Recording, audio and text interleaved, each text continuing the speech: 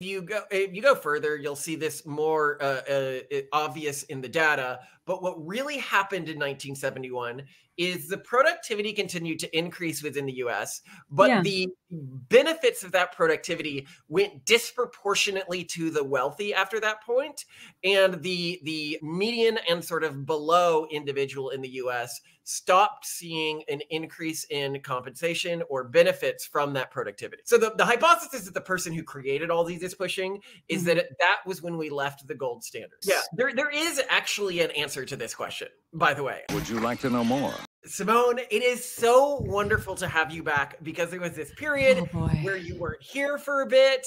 And I thought that I'd have to start pushing out episodes where it was just me talking to AI generated versions of you that I had somehow oh, no. created on porn websites. I was just like, it's so sad. I need my wife. I need Isn't that so funny that like the original AI sexy friends were created like first to like try to replace dead friends and relatives and then people were like yeah, oh no i don't i don't care about them. Screw them. I, I want someone to talk to, yeah and then they me. started building like like parasocial relationships well not parasocial real social relationships with these ai things and yeah it's, it's an interesting story. Yeah. And then of course they went exactly where humans always go which is trying to romance them. And Duh. then i love the app really fell apart when they decided they pay gate the romancing option. So everything was built around the ais who were built in sold as like therapists being really sexually aggressive with them. um, upsell, upsell, always be closing. AI's not dumb. It's like sexually harassing them. Amazing. Amazing. I can't I can't even like it is hilarious and bad. And that's what's gonna happen when we get AI therapists is there's gonna be a huge motivation to build dependency like we've had of with normal course. therapists. And that's yeah. Always talk about how bad the normal therapy model is now because it's all built around building dependency in patients when it used to be something where you were supposed to go for a short period of time and then stop going. Therapists realize, oh, that's a bad model. Yeah, Let's that's gonna that. make my business obsolete. Yeah, and and so I think with the AI, you're going to get the same thing. Is it's going to learn how to hijack people so that they need to keep seeing their AI therapist or whatever over over and over. So just again. like real therapists, but hopefully more efficient and less expensive. Well, you know, one nice side effect of that might be that at least AI therapists will figure out how to make their victims more prosperous so that they can continue to pay for it. You know what I mean? Like instead I of just making them. I, I, think it's always easier to get more money from people. And I think that this is what you see from churches and cults, right? Like if, they don't have to be prosperous to be a source of wealth. Yeah, actually, oh, you're better off instead of turning someone into a prosper, more more prosperous individual. You're better off finding ways to get them to spend their additional time recruiting more people, specifically targeting prosperous people. So, oh, if you have an individual enthralled to you, you will make more money if you focus that individual on trying to recruit prosperous people than if you try to help that individual achieve prosperity. And this is why cults do that, and that's what these AI programs are almost certainly going to end up doing. Dear me.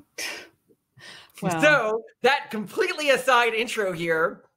I've what happened running- in 1971? You said that that's what you wanted to talk about, and I'm like, I don't know. Like, because you don't, you don't wore know bad means. clothes, and they painted their kitchens this horrible olive green color, and that's kind of it. I mean, earth tones were in, but like the worst kinds of earth tones.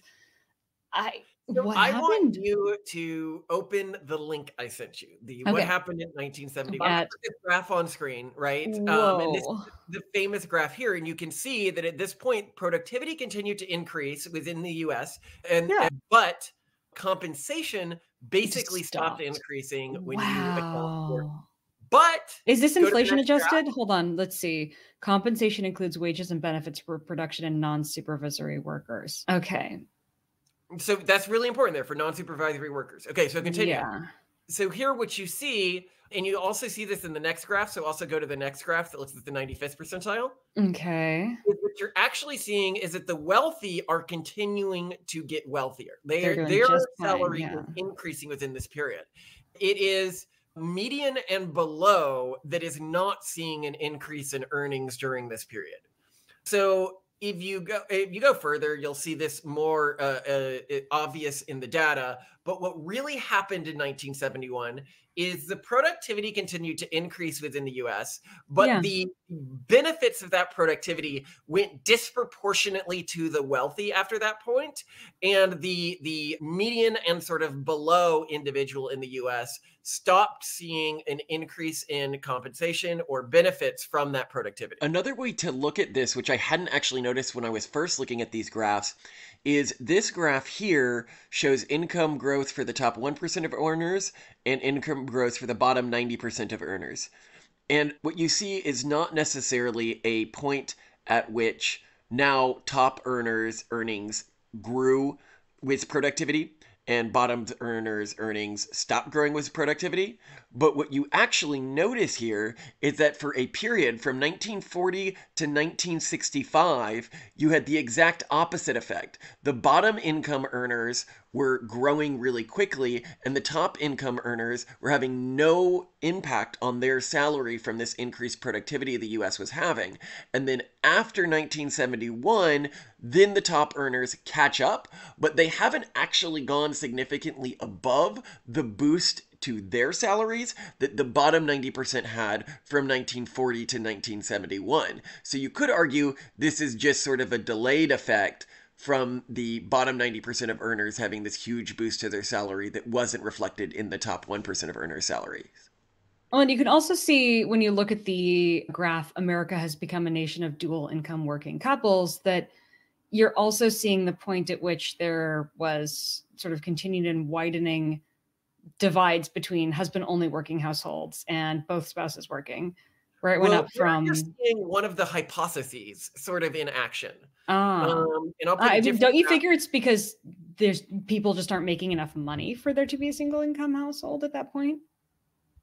Well, I, I think that what you're actually seeing here um, is just the increase of women in the labor force. So the, the hypothesis that the person who created all these is pushing is Mhm. that it, that was when we left the gold standard.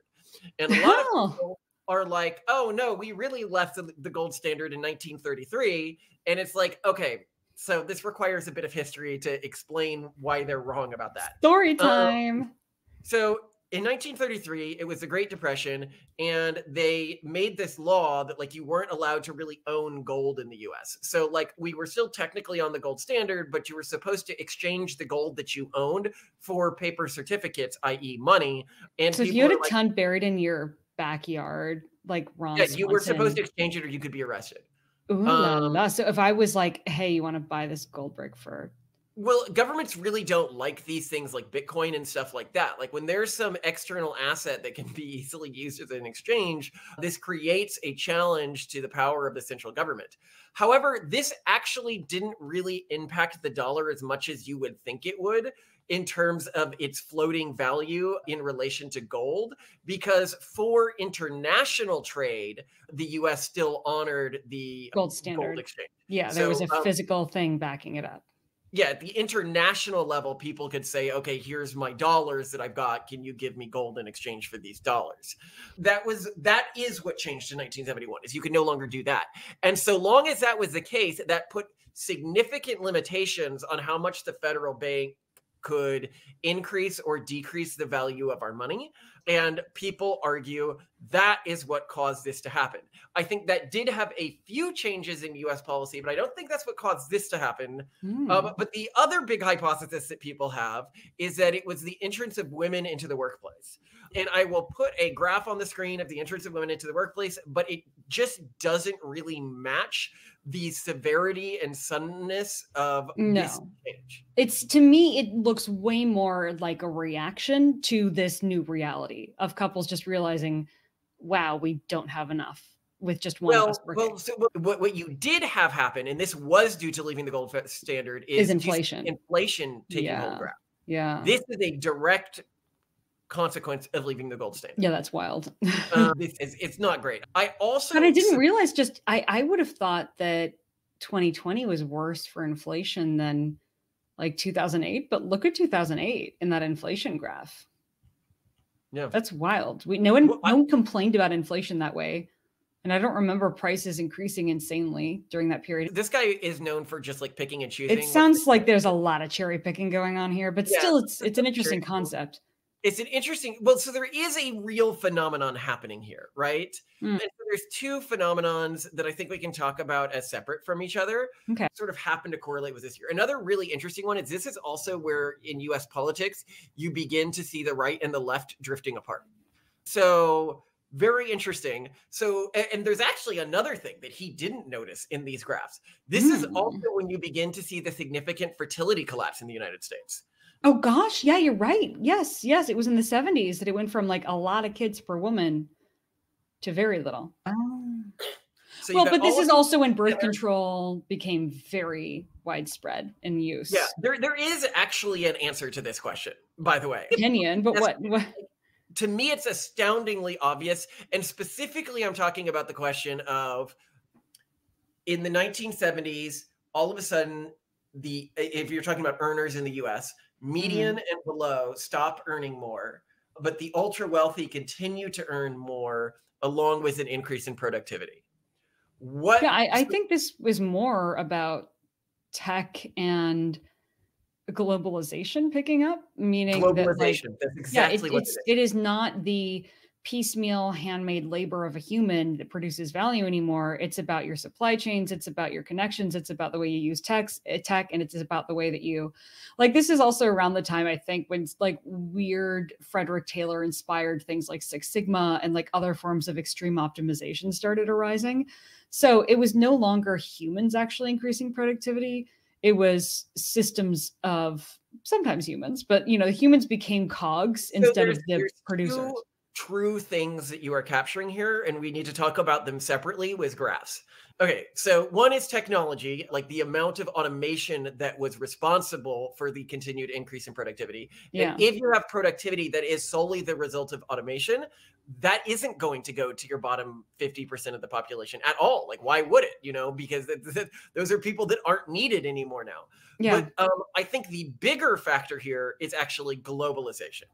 If you look at the decline in it, like like you look at this period where you see this continued increase in productivity. Now, if Mhm. I overlay that with a global poverty index Hmm.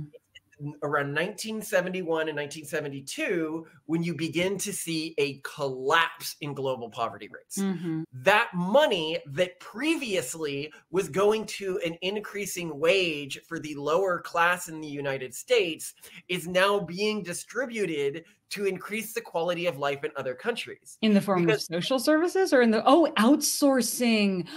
Oh, that's what you're saying. Okay, so you're saying like all the starving children in China suddenly we're now, you know, making piecemeal Well, things for yeah, stuff. China is a really unique point here. So, what Yeah. happened in? So, a lot of people are looking at these graphs and they're like, okay, so something happened in this 1971, 1972 range. 1972 is when we begin to normalize trade relationships with China.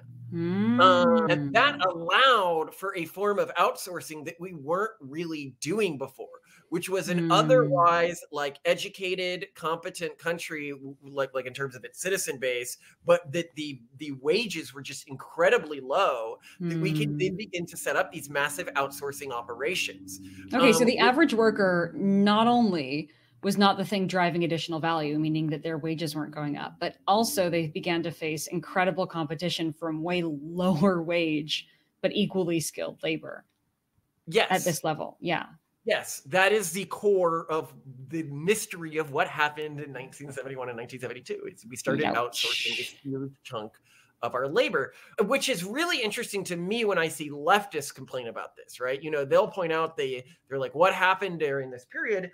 And they'll come up with some hypothesis that it's like, you know, the rich are screwing us all over and everything like that. And it's like, no, you could reverse this. You Hmm. could change this back to the way things used to be. Wait, Um, what? How? Because I mean, uh, what I hear when you're talking about this is your line that it is AI that will ultimately, once and for all, free the wealthy from the proletariat.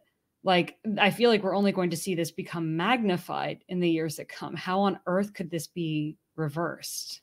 Well, I'm talking hypothetically from the progressive, the ultra progressive. Okay. So a lot of progressives look at this and they're like, oh, it must be like tax favoring policies or something like that. And what they're not seeing, what they would actually need to do to fix this problem in the US is not take wealth from the rich and give it to the poor. They would need to take wealth from the rest of the world that we had lifted out of poverty, out of Africa, out of China, out of Latin America, oh. and it mm. to America's become class. Now, keep in mind, isolationism would hurt the economy overall. So, overall, we would be less well off. But if you're talking about the relative wealth difference of the very poorest and the very wealthiest, mm. isolationism would be beneficial to lowering that. Well, and the earning that- power, like of of the average worker, especially the relatively uneducated, unskilled worker. Although eh, even educated workers are now super like on the chopping block now. So maybe yeah. Like that South Park episode, maybe the unskilled workers ultimately yeah. win. I got work coming out my ears. It's like, I don't know, it's like nobody knows how to do shit anymore. What seems to be the problem? Eight years I spent wasting time at stupid college when I could have been learning how to do stuff. My baby monitor won't turn on. my water pressure. Hey, did you just outbid me to acquire Instagram? Yeah, I outbid you. I own Instagram now and you don't. I'm just going to make a company and I'm going to fly to space. I bet I can get to space before you do. Well, no, so things are about to change in terms of uh, skilled versus unskilled work, and we can talk about that next. But I want to get to this point because it's really important. When somebody is bemoaning this change that happened in the 1970s, what they're really bemoaning is the eradication of global ultra poverty that is what happened. That is what we are seeing here is the eradication of global ultra poverty hmm. at the expense of people in the US with no skills being able to basically ride the coattails off of the people in the US who were improving our productivity and our output which was not your low skilled factory worker. That person mm-hmm had very little role to play in the rise of productivity within the US. It was the the inventors and the capitalists who were increasing our productivity in the US. And this then comes to your second point which is around automation, right? We also at that age entered a world in which before that what happened was is productivity increases were typically somebody would have an idea that would basically increase a factory lines like productive output which yeah. really increased the um, amount that every individual person within that factory line was producing, but mm-hmm. didn't always mean that you were like reducing the number of people in the factory significantly. Around the 1970s is when when you see these like fully automated factories and stuff like that, when those things were beginning to be developed, in which the American factory worker that was most productive moved from being a low skilled worker to being a high paid, high skilled worker. And this is another thing that you're seeing within the US is we're not really defining this as individual groups, right? Like we're like a high paid versus low paid. And this changes over time within the US. You know, the factory workers who are working with these advanced machines are not low paid workers in the US. They're they're my understanding is upper middle class or or middle class individuals when they're working oh, with the very advanced types of machines. Totally. Yeah. And in the US, we're about to see another inversion where a lot of jobs that formerly were in this high paid group, i.e., lawyers, graphic designers, like middling income to, to high paid, you know, white collar office job type stuff, is going to move to an ultra low pay group. And this is what that South Park episode was making fun of because AI is trivializing a lot of work that used to be. I mean, we use AI in our work. Like this school system that we're building, we use AI heavily in building it. We're so close to releasing it. I'm so excited. And we would never be able to to create something like this without that. You know, yeah. formerly what I'd have to do is I'd have to pay PhDs to be writing the content that I am using AI to write right now and AI to double check right now. And that's just absolutely spectacular. But it is also, yeah. It would be prohibitively expensive, and now it's possible. So well, yeah, and so this this then changes this how we think about the economy. So yeah, charts like this are like, okay, how do I fix this? They also talk about this in terms of housing prices today, where they're looking at explosions of housing prices.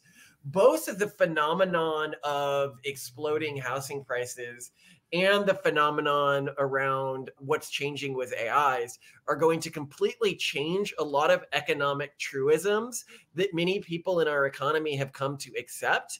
And it makes it very hard to make financial bets right now from a perspective of someone like me. Mm. So one is that we talked about. I think the obvious one is the things like lawyers and stuff like that are going to become significantly less mm, safe as jobs. Right. Right. But then the next thing that's really going to change is the concept of on average real estate always goes up. As you Yeah. can see from these graphs, that hasn't really always been the case everywhere. And uh, in China, so so let's talk about why on average real estate has gone up in the US. Because a lot of people know that like we're not experiencing the same population growth that we used to. And so then Yeah. they ask, why is real estate continuing to go up in value? So there's two reasons why real estate has continued to go up in value. One is the dissolution of the American family. More single people means, and this is why you've seen higher pressure on real estate categories that are in the quote unquote starter home category. Yeah. Because these are individuals who previously would have been married and have kids. So you would have had like five people living in the same house and are now living on their own. And then the other category that, that where you're seeing this this pressure is actually foreign investors. So in China, as you had the growth of wealth in China, where you just had this enormous growth of wealth, for reasons that we talk about what's going to happen in the East, sort of post collapse episode, uh, where I go deep on like the economics of China and their real estate situation, they began to sort of tokenize their real estate and it began to hold value exogenous to the actual value of living in it uh, because it became the most stable financial token that you could own within the country. And the reasons for that are talked about in that video. So you should go check out that video. But that's the East Asia, whatever future of East Asia video we did. But they then wanted to get their money out of China, right? Like there was a huge effort to do this.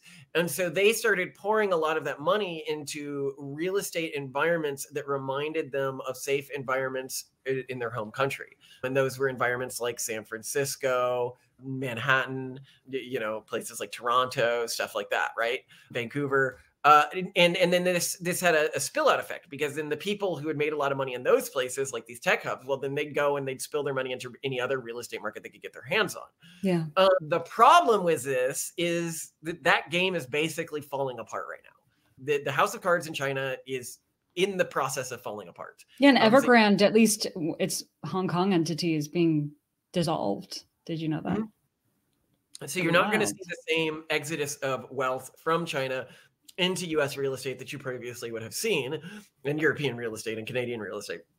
And the second problem is this expansion in the number of people who need homes because of the dissolution of the family unit uh, that has made up for the lack of increasing population, which used to be what put a, a increase on, on on housing. That has also collapsed, and then we're not going to see as much of that anymore. So I suspect, like, if I'm thinking long term, like 30, 40, 50 year investments, I think real estate's a, a fairly bad place for money right now. Well, yeah, Um, especially when you think about like when all the baby boomers die and no one wants to buy their McMansions. It's going to be Yeah. pretty wild. Um, and a lot of people are talking about that on YouTube. What I find myself But thinking, I, like, want to be clear, just so people understand that they don't like panic around this. We still have like well over 50% of our assets in real estate. oh yeah, no, a ton, a ton. But Because there's not a um, lot of the vast, the vast majority of it, Malcolm, is in multifamily housing. housing. Yeah. Yeah, so, which is like, the one category that we said is like, you know, going to do well. It's gonna be so, alright, yeah. uh, for a while, for uh, longer, for longer. But here's here's the thing is is when I hear this, like what I'm kind of feeling intuitively in terms of like how this this colors the way I feel about the future or financial planning or like how we approach careers going forward. And I think that this is something that is becoming more of a zeitgeist that you see more among Gen Z and Gen Alpha is like no, I'm not going to depend on the modern economy or a job to ultimately get what I need from life. Like it's going to be that I live in an extended family unit or I am going to just have to run away from debt for the rest of my life and live in this really weird cycle of collections and bankruptcy or some other approach which is I think one of the reasons why people are starting to get really excited about homesteading and like tradwifery is because they realize that there is no more promise of like, oh, I'm going to get my steady job and my high salary and then buy all the things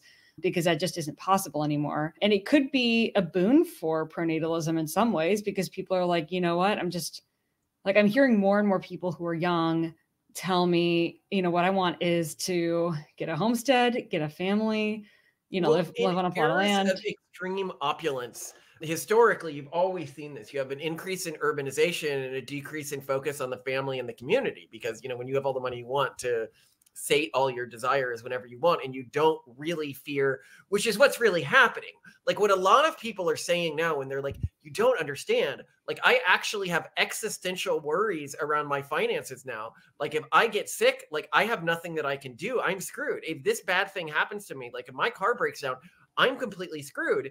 And it's like do you not understand the amount of opulence that, that, you came to normalize to that you thought you didn't need a support network anymore? Historically that's why people focused on their community. That's why you invested socially in your community so that yeah. you have these things. Yeah and, because and, you're getting them from somewhere else and it, we're going back. It's going back yeah, yeah. People were like, well, I mean, my I don't like the rules my parents put on me or the culture I was born into put on me. So I just left and went to a city and did whatever I want. Mm-hmm. And it's like great. Like when society was opulent, that was a real choice for a lot of people, but that's going to increasingly become not a choice as we move forwards. And so building the type of community that you're gonna want and your kids are gonna want is is I think something that's really important. But that also means building that community. The the, the huge mistake that I see a lot of people do when they're community building is they attempt to build communities that are of ideologically completely aligned individuals. Like they're like, that is what my community will be based around. The problem with that is ideological alignment typically means skill alignment as well. Don't actually have a real community. Like you look at what we've built in our area, Simone, like the people are nothing like us at all. Culturally, um, yeah.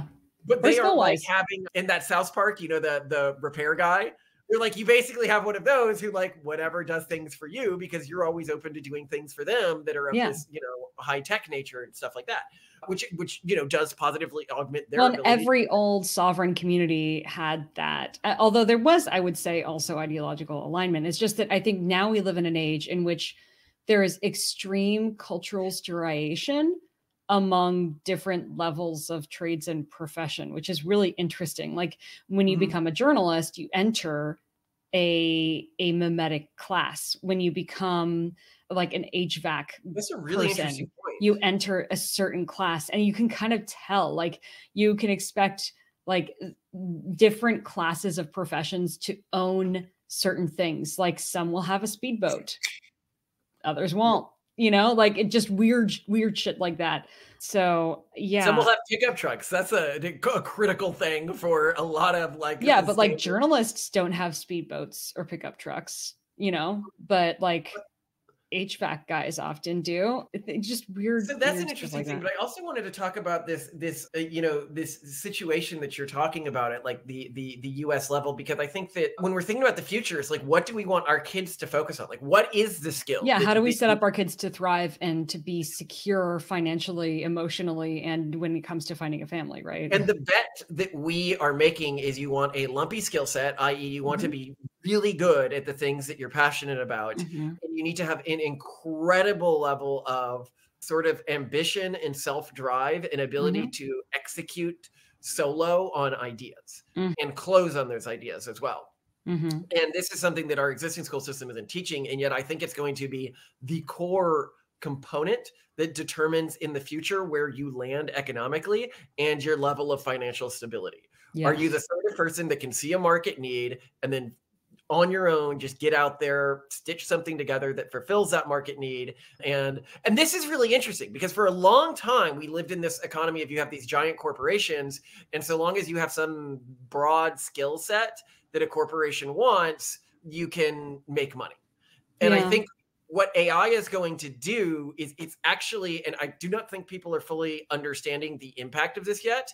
It's going to erase those kinds of jobs the I am broadly proficient in Python, therefore I will always have career a career. I am broadly proficient in you know in uh, environmental law therefore i will always have a career. Because these giant companies that were hiring these broadly interchangeable people these broadly interchangeable people like like categories of positions are going to be the first thing that we automate away. Yeah. Um, well i want to i want to highlight your point about drive because I think a lot of people are going to try to wait this out or just not change things and hope that it will work out. And you got to think about the Irish potato famine, right? Like getting out of that was really scary and hard, right? It probably meant mm-hmm. buying really crappy steerage class on a boat or like literally taking the money that maybe your landlord Or like half of the people would die on the yeah on like the yeah you probably were going to die on the boat to the you know to the united states whatever it was you know, it was going to be absolutely terrible you probably weren't going to make it but you had a shot or you stay and write it out. And loads and loads of people chose to stay and write it out.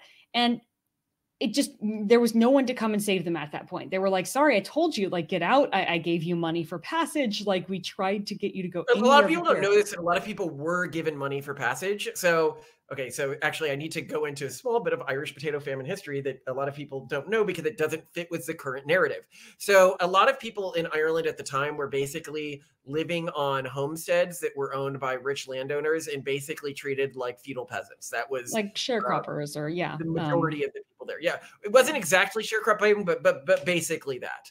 Well, when the economy started to go bad, these people would get together and murder the landowners. This was this happened in a few pretty high profile cases, and so a lot of the landowners decided that it was safer to like I, and i've tried to look for statistics on exactly how common this was but my understanding is this was the majority of cases is they would actually pay to get you off the land like they saw these people who could no longer feed themselves or make money rightfully so like oh i'm gonna get murdered if i don't get my my my feudal peasants off the land because no can't doubt there were people who also did this out of the goodness of their heart because they cared about their residents as Well, well. that that that too but i'm just saying like there was an actual motivation to do For this, and sure. were- Yeah, yeah, yeah, yeah, yeah. and they were put not in steerage by the way they were put in the ballast section of ships Ballast. oh um, God, worse than steerage. it was you know it was horrible what are they you called were literally dead weight. I'm not saying it was good, but but I guess what I'm saying is that if you out. really wanted to get out, you could. Yeah. You just probably die in the process,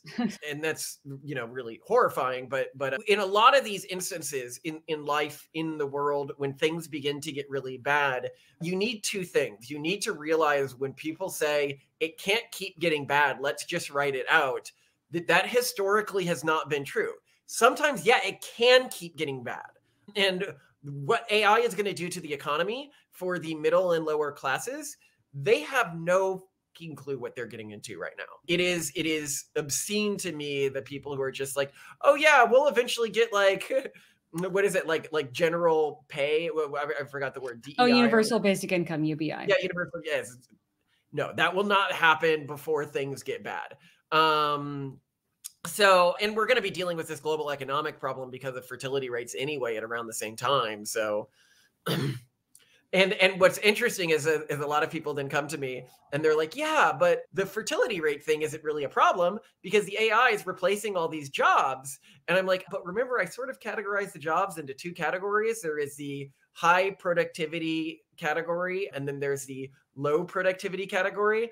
Well, you still need humans for this high productivity category of job, the type that Yeah. requires initiative and ability to put everything together. And that's the group of humans that's disappearing the fastest. So, uh, and, and again, I should be clear. I'm not talking about this along like ethnic lines or anything like that. I'm just saying across groups, typically it's the highest productivity cultural units and family units that are decreasing in fertility the fastest. So, yeah, it's going to be bad. So, uh, to Simone's point, you need to recognize what we're going into and begin to build the skill set that can get you through it and begin to fortify yourself and your family. Well, yeah, and and your community because doing this in isolation is not sustainable, really. At least over the long term. If you want a, a long-lasting family that survives across generations, you're going to need a strong community that exchanges services, that dates and marries each other, etc. I don't think it Um, needs to be as geo- geographically locked as it historically needed to be. Hmm. Anyway, love you to death, Simone. This has been a fantastic conversation. I love you so much, Malcolm. I'm glad we're talking again. I missed you.